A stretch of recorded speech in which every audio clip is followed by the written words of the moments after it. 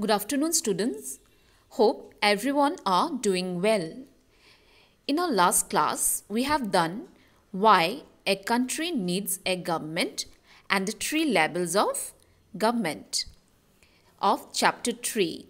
So today, let us do laws and government and the types of government. So let's start. Laws and the government. A, a rule of conduct established and enforced by the authority, legislation, or custom of a given community, state, or nation is called law. It is both the responsibility of the government and citizen to uphold the integrity of laws. The government needs law to maintain peace and order in society. Law establishes justice. It is meant to achieve constitutional ideas that is equality and right against discrimination. Law makes it compulsory for the people to obey it.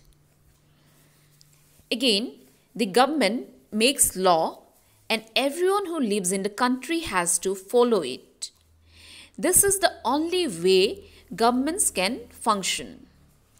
As the government has the power to make decision, similarly it has the power to enforce its decision. Example, there is a law that says that all persons driving a motor vehicle must have a license. Any person caught driving a vehicle without a license can either be jailed or fined a large sum of money. So, law are made by the legislature. So, here legislature means law-making bodies such as parliament. And as subjects of a nation, individual need to maintain it. And again, government even has the ability to implement these laws. Next, courts have the ability to offer equity that is the court have the ability to offer remedies to the distressed party.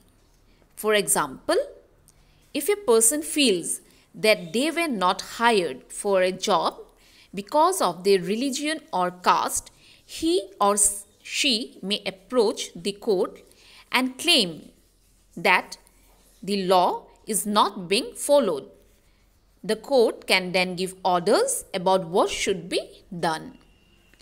And again, another example we can take that is if someone feels that the law of the land is not being obeyed in a particular situation, he can go to the court with his or her grievance.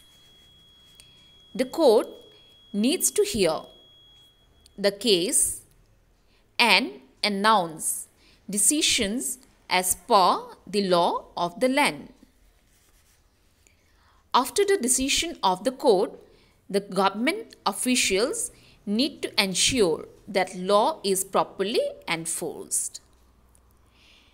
Next comes the types of government. So, there are two main types of government. So one is democracy and other is monarchy.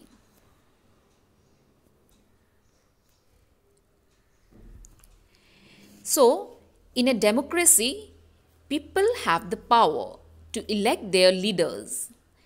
Democracy is a rule by the people and so in a fair democratic government, individuals have a privilege to pick their leaders as their representative. For example, uh, the democratic countries are India and USA.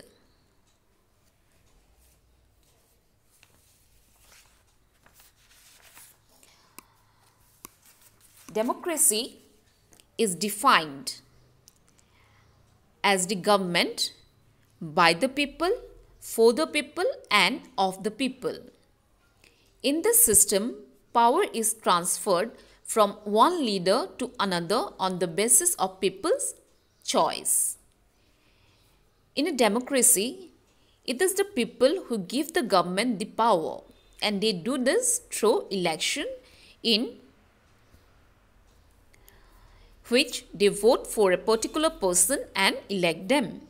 And once elected, these persons form the government. So, in a democracy, the government has to explain its actions and defends its decision to the people. Now, next, another form of government is monarchy. When the head of the government is king or queen, then this is called monarchy. The king or queen enjoys supreme power. Power is transfer, uh, transferred from one king to another on the basis of inheritance. This means that the son or daughter of a king becomes the next king or queen. The monarch may have a small group of people to discuss matters with, but the final decision making power remains with the monarch. Unlike in democracy, kings and queens do not have to explain their actions or defend the decision they take. Monarch monarchy is still practiced in a handful of countries like Bhutan and Saudi Arabia. So students, this is all for today. On my next class, I shall discuss democratic governments in detail and women suffrage movement. Hope the topic I have covered today will be helpful for you all. Here I conclude. Thank you.